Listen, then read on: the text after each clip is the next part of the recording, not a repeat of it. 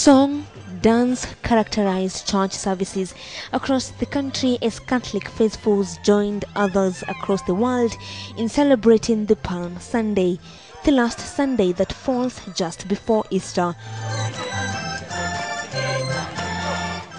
Palm Sunday is the start of the Holy Week, the most solemn week of the Christian year leading up to Easter, and is the week during which Christians particularly remember the last week of Jesus' life.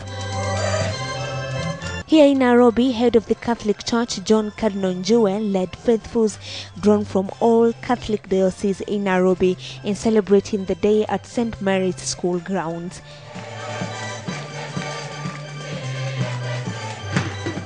It was dance and joy at the event that was dedicated to the youth, with Joy urging the youth to embrace godly life and keep off ungodly ways.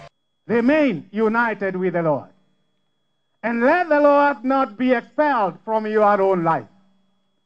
Remain one with the Lord, for indeed it is only in that way you will be always capable of finding a point of reference in times of joy and in times of sorrow. Catholic faithfuls in Kirinyaga County celebrated the Palm Sunday in style after some of them rode on an ox cart to depict the heroic entry of Jesus Christ in Jerusalem. Led by Father Francis Githinji, the faithful marched from Kerugoya Boys Secondary School grounds through the streets of the town waving green palm leaves. Elsewhere, thousands of Filipino worshippers in Manila also celebrated Palm Sunday with celebrations that emulated the traditional celebrations in Jerusalem. The Blessings Rite recalls the story of Jesus Christ's entrance to Jerusalem.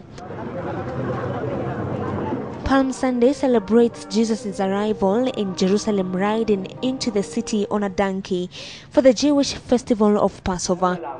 Palm Sunday is one of the most important days in the Christian calendar after Christmas and Easter. For KTN Sunday night, I'm Angel Katusia.